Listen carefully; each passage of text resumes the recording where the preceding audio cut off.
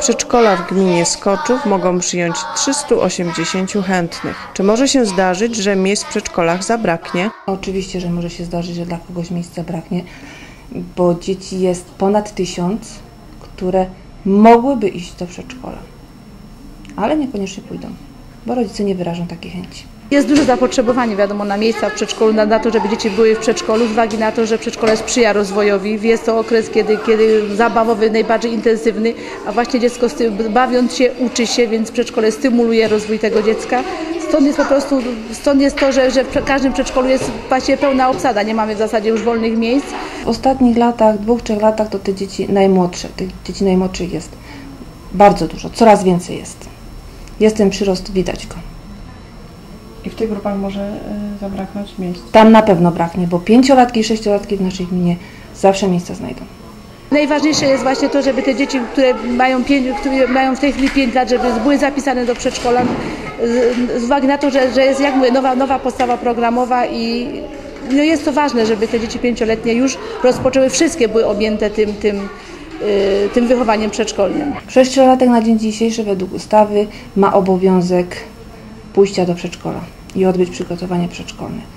Pięciolatki traktujemy na tej zasadzie, żeby też szły do przedszkola, mogą iść, bo one też mogą iść jako sześciolatek do szkoły. Dla pięcio- i sześciolatków miejsce w przedszkolu się znajdzie, ale nie we wszystkich placówkach w pełnym wymiarze godzin. Miejsca dla dzieci 5-6-letnich są e, jako minimum, jako minimum programowe, czyli od godziny 7 do 12. Jest to oddział, y, który jest czynny 5 godzin i w tym, w tym oddziale na dzień dzisiejszy jeszcze wolne miejsca są. To jest 5 godzin, które to dziecko w przedszkolu może przebywać bezpłatnie. Powyżej 5 godzin, 6, 7, 8 mamy uchwałę na, te, na, na ten czas, e, którą opłacają rodzice we własnym zakresie. To jest opieka stała. Za pobyt dziecka w przedszkolu do 6 godzin trzeba zapłacić 60 zł. 80 zł, jeżeli dziecko w przedszkolu będzie do 7 godzin.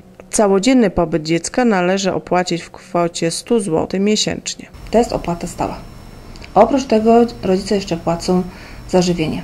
To jest wsad do kotła. Rodzice mogą ubiegać się również o zniżki. Na przykład jest dziecko odroczone, albo jest dziecko niepełnosprawne, albo to jest drugie dziecko, które chodzi do przedszkola z tej samej rodziny. Rodzice chętnie oddają do przedszkola, największy, najlepszy, od, lepiej o tym świadczy ten nabór właśnie zainteresowanie rodziców tych najmłodszych dzieci, czyli tych dwu i półlatków i trzechlatków. Szkoda, że miejsc w przedszkolach brakuje, ale jest szansa, że to się zmieni. Myślę, że ta sytuacja dla tych dzieci młodszych się o tyle wyklaruje, że jak dzieci szkolne, czyli za dwa lata pójdą obligatoryjnie sześciolatki do szkoły, zrobią się wtedy miejsca wolne dla dzieci młodszych. Póki co dla każdego pięcio- i sześciolatka miejsce w przedszkolu się znajdzie.